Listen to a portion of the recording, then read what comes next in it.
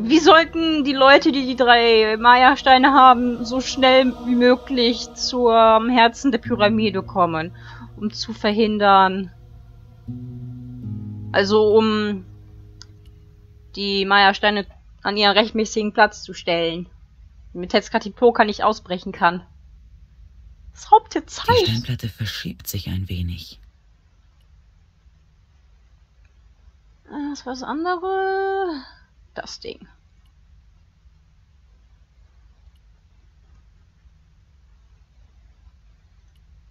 Ja, und so müssen wir das jetzt mit allen machen. Das Rätsel habe ich auch etwas länger gebraucht, um zu verstehen, was da von mir verlangt wurde. ah. hm.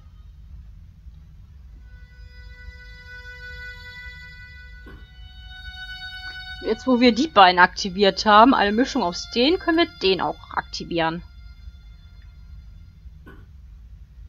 Die Steinplatte bewegt sich nach innen und rastet mit einem Klick ein.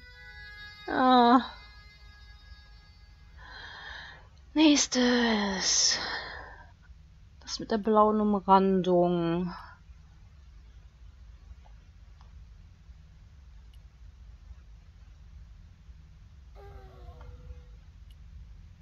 Ich mag das Rätsel nicht. Das ist so langatmig. Das kommt einem so vor, als wollen die das Ende noch strecken. hm. Auch wenn das Rätsel an sich interessant ist. Aber hey, strecken wir das Ende so weit wie möglich hinaus. Es nur noch 30 Sekunden, um das Rätsel zu lösen. Danach schalten die Leute ab. Was ist das andere? Hm. Nein. Dieses Ding. Da.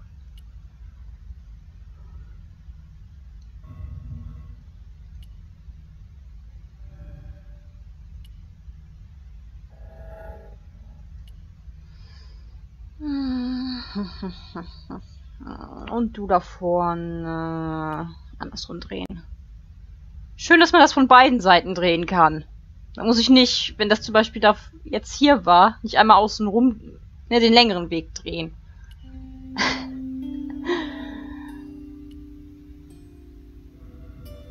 Wenigstens daran haben sie gedacht. Ne, Nico.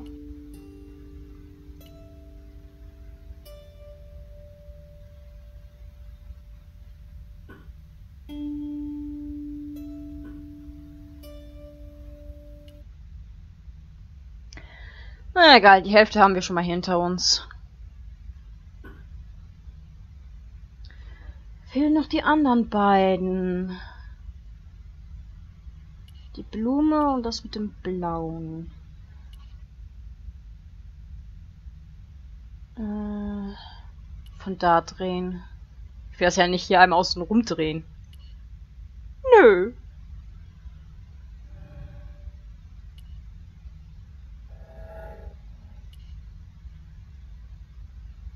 Das ist mir natürlich zu langwidrig. Wisst ihr, was schlimmer wäre, wenn man das nur in eine Richtung drehen kann?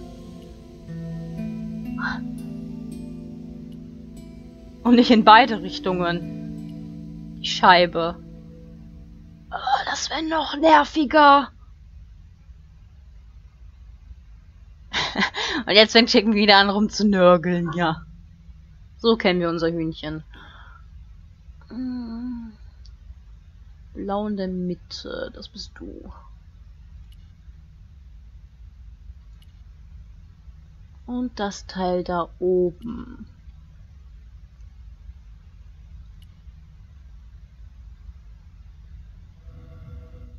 Aber hey, wir haben es ja gleich geschafft.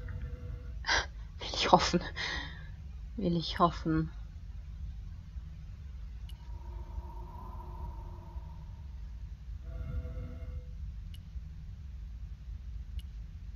Hin und her, kreuz und quer. Bekommt Nico eigentlich dafür Kilometergeld, so viel wie sie jetzt hier schon gelatscht ist? Müsste sie eigentlich.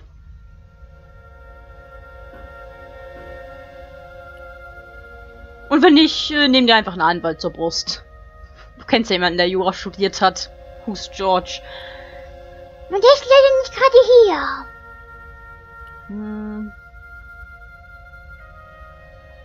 Dieses komische Ding und die Mütze. Das sieht für mich wie so eine Mütze aus. In die andere Richtung möchte ich das drehen. Dreh, dreh, dreh. Ich drehe hier gleich am Rad. Warum denn schicken? Du drehst doch schon am Rad. Naja, am Steinplatten. Aber hey. Ist fast dasselbe.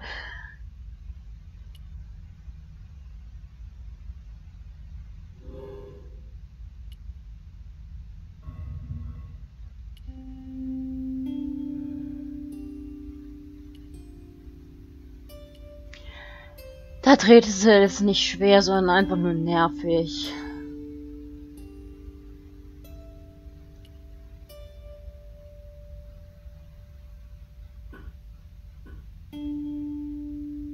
Alles muss schnell, schnell gehen. So, was ist das letzte? Du. Ah, hier unten. Ja, es gleich geschafft, Leute.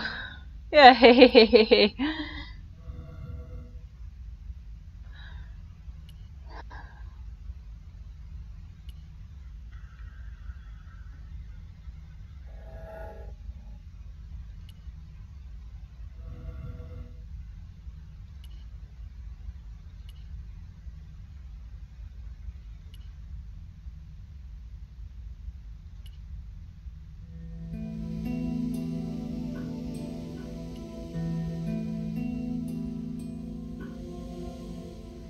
Sehr schön. Sehr schön. Haha, et voilà. George hat mir mal erzählt, dass man eine gewisse Fertigkeit braucht, um Geheimtüren zu finden. Ich glaube, langsam habe ich den Dreh raus. Ja, den Dreh hast du raus, versteht ihr?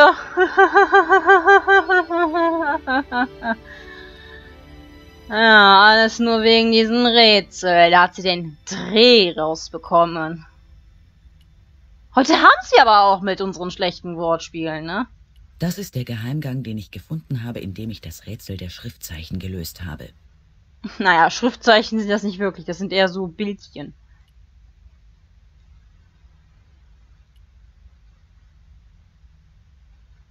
Dann runter mit dir. Und stolper nicht wieder die Treppe runter. Also dachte ich mir, hey, das ist es. Weißt du, das ist die wahre Liebe. Auf jeden Fall, ich musste dann ein paar Wochen weg. Und als ich wiederkomme, was sehe ich da? Uh, Genau. Und mit wem? Lobino, diesen Penner. hum, ha. Ja, genau, das habe ich mir da auch gedacht.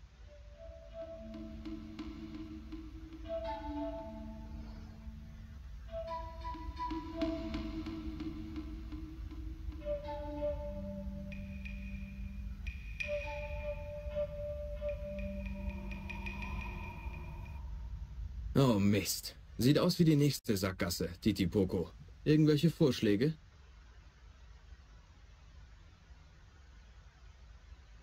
Ich hatte mir etwas Konstruktiveres vorgestellt. Aber egal, ich schaue mich mal um.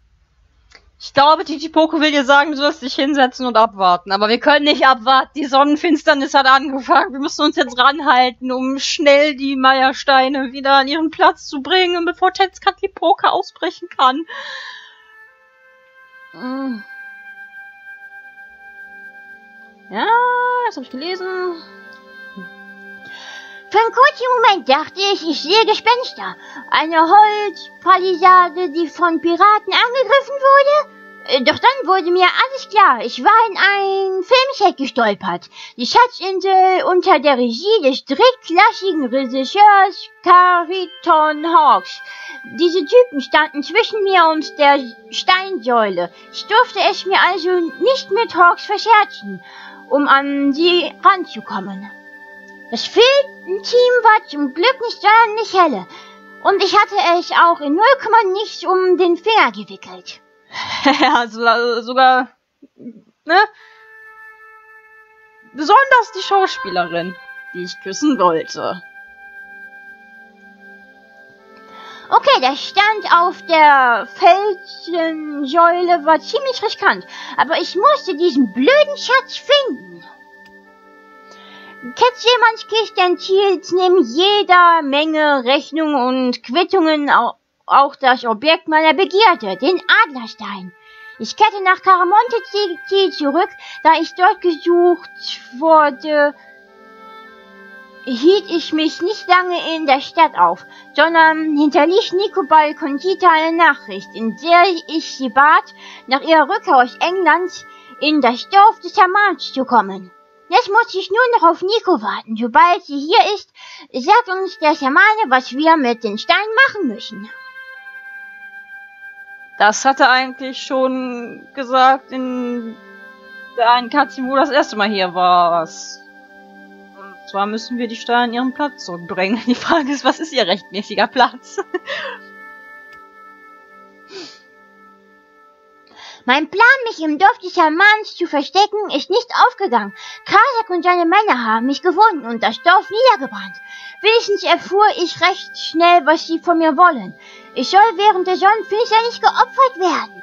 Die gute alte Nico, sie ist tatsächlich gekommen, um mir den Arsch zu retten. Allerdings saßen wir immer, saßen wir noch immer ziemlich in der Tinte. Also liefen wir in die Pyramide, dem wie wir dachten geringeren Übel. Ich weiß, man spielt nicht mit Hebeln herum, aber egal. Ich war schon öfter von Nico getrennt. Wenigstens ist die Tiboko bei mir. Ja, der sich erstmal hinsetzt und eine Runde abchillt. In einer Halterung an der Tür steckt eine Fackel. Eine wirklich gruselige Statue. Der Typ hält einen Schädel und eine Schale in der Hand. In die Schale soll wahrscheinlich ein Herz. Bäh. Ja, dein Herz. Titi Poco, ein neuer Freund und außerdem ein prima Zuhörer. Uh. George hat einen neuen Freund. Irgendwas Interessantes lauert im Schatten, aber ich kann nicht erkennen, was. Irgendwas interessant. Das Einzige, was man mit der Statue anfangen kann, ist, sich draufzusetzen. Und da war Titi Poco schneller als ich.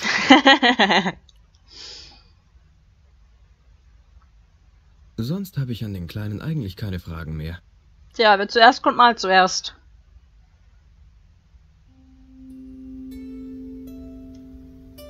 Na, kannst du mal für Licht sorgen, Titi Poco?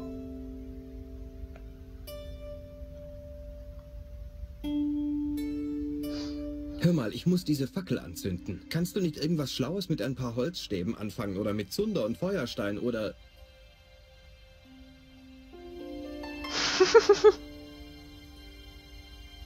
mit einem billigen Scherzartikel-Feuerzeug. Ich glaub's einfach nicht. Tja. Ein Bild von jemandem, der eine Fackel hält, während ein zweiter Typ sich an einem Hebel zu schaffen macht. Der Hebel ist echt. Ein Typ mit einer Fackel, das kommt mir doch sehr bekannt vor. Naja, ich habe gerade nichts anderes zu tun, also ziehe ich mal an dem Hebel. Nichts ist passiert. Ich hasse sowas. Kannst du sowas nicht auch hassen? Titi Poco! Titi Poco?